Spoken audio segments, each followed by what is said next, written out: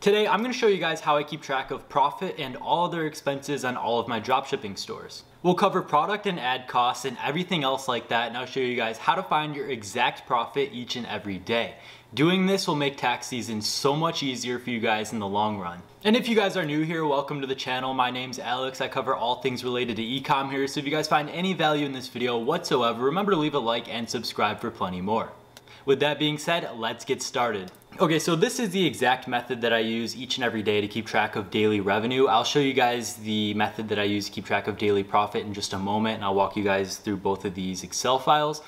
But I use Excel. You guys don't have to pay for Excel. You guys can use like Google's free version of Excel or really any program that has these capabilities.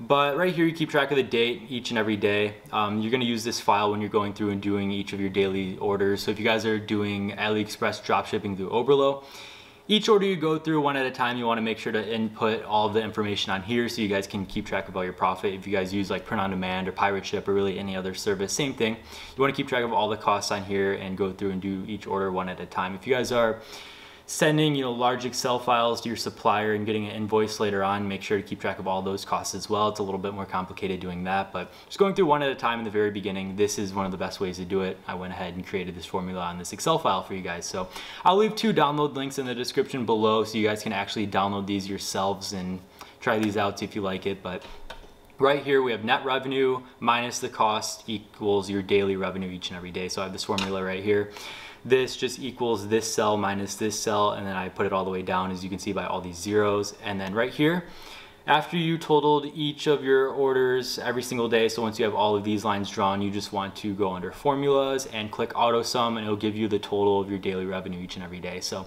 net revenue right here this is the amount of money you get from each sale. So say I'm selling a $20 product after shop pay takes out their fees and everything else, I'm left with net 1911. Say the product cost was $2.45. That leaves me with $16.66. So say the next order was a little larger of an order.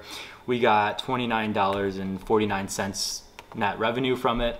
Let's say this order cost us like 445. It leaves us with 2504 right here, and then all of this will get added up together at the bottom. So going on to the next day, once you get this complete for one day, you just wanna go ahead and copy this cell right here paste it under the next date, so September 2nd in this case. And same thing again, so say we get 1911 from the first order, this one costs us 349, we're left with 1562. You just wanna drag this all the way down for how many orders you get each and every day.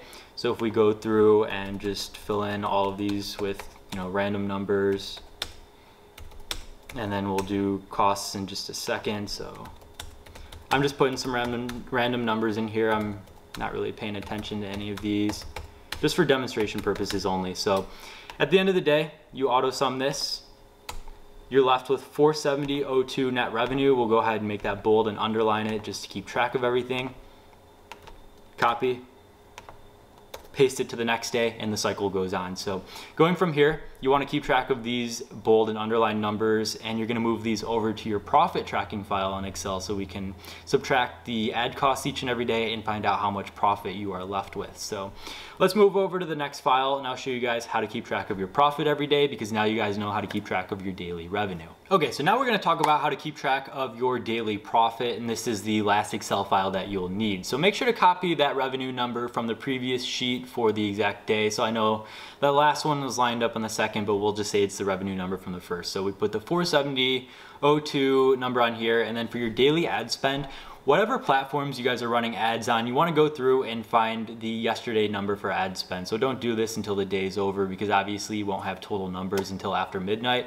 But let's say I went on Facebook ads, Google ads, Snapchat ads, and combined all of my ad spend from the day before on September 1st and found out it was $75 even. So the profit right here subtracts this, uh, it subtracts this number, the ad spend from the revenue cell right here to give you your daily profit each and every day. So keep track of this. You wanna copy that cell right here to the second and do the same thing each and every day. So say September 2nd, we got 500 even in revenue and our ad spend was $87. That leaves us with 413.